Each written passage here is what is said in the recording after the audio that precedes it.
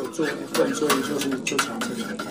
来自法国野生羊肚菌与红葱头、大蒜、鸡高汤、绍兴酒一起炒香，淋上北海道干贝，不只有高级食材，还有浮夸视觉飨宴。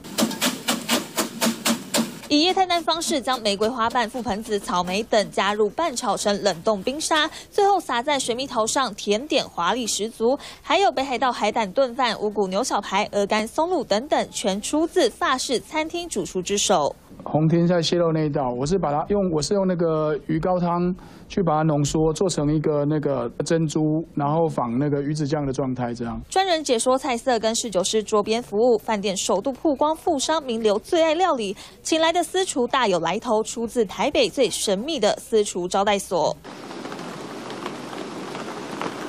高档私厨隐身在巷弄别墅区，外观看不出任何餐厅的招牌。原本是富商私人招待所，后来衍生成会员制的神秘中心。一窥内部摆设高级餐具，各式大小酒杯布置奢华，餐桌只能容纳十四人。其实我们，呃，是针对。